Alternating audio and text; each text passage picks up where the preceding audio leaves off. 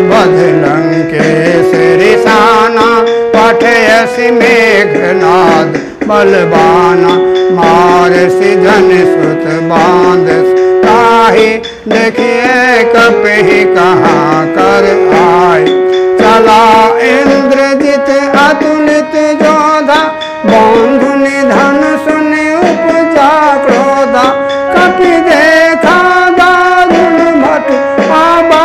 Cut कटाई, गरजार धामा, अति विशाल तर एक उपारा विरथ के लंकेश कुमारा।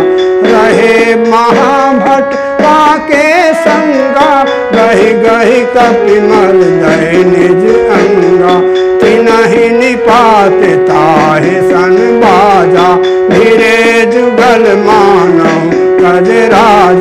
मुठिका मारी चढ़ा तर जाई ताहि एक क्षण उड़ छाई उठ बहोर नहीं बहु माया जीत न जाए प्रभंजन जाए।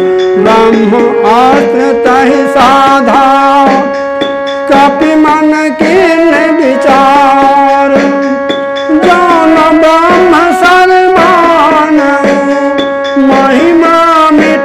अपार सियावर राम। चंद्र शंकर जय जय। सीताराम, जय जय। राधे श्याम। पुत्र का वध सुनकर रावण क्रोधित हो उठा और उसने अपने जेठ पुत्र बलवान मेघनाद को भेजा। उसने कहा कि, हे पुत्र, मारना नहीं, उसे बाँध लाना। उस मंत्र को देखा जाए कि कहाँ का है। इंद्र को जीतने वाला अतुलनीय योद्धा मेघनाथ चला। भाई का मारा जाना उसे सुनकर क्रोध आया। हनुमान जी ने देखा कि अब की भयानक योद्धा आया है, तब वे कटकटा कर गरजे और दौड़े। उन्होंने एक बहुत बड़ा वृक्ष उखाड़ लिया और उसके प्रहार से लंकेश्वर रावण के पुत्र मेघनाद को बिना रथ का कर दिया। रथ को तोड़कर उसे नीचे पटक दिया। उसके साथ जो बड़े बड़े योद्धा थे, उनको पकड़ पकड़ कर हनुमान जी अपने शरीर से मसलने लगे। उन सबको मारकर फिर मेघनाथ से लड़ने लगे। लड़ते हुए हुए ऐसे मालूम होते थे, मानो दो गजराज श्रेष्ठ हाथी भिर गए हों।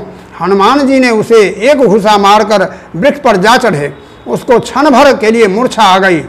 फिर वह उठकर उसने बहुत माया रची, परंतु रावण के पुत्र उससे जीत, जीते नहीं जाते।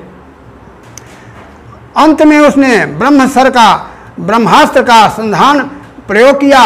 तब हनुमान जी ने मन, ने मन में विचार किया कि यदि ब्रह्मास्त्र को नहीं मानता तो उनकी अपार महिमा मिट जाएगी।